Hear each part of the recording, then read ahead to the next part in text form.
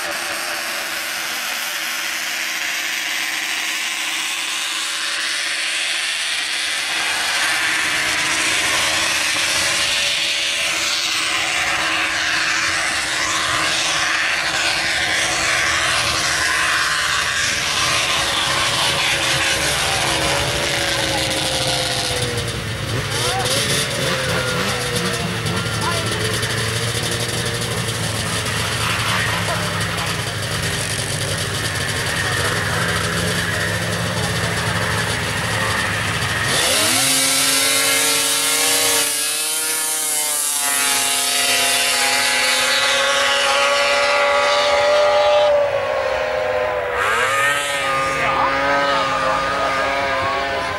lagen.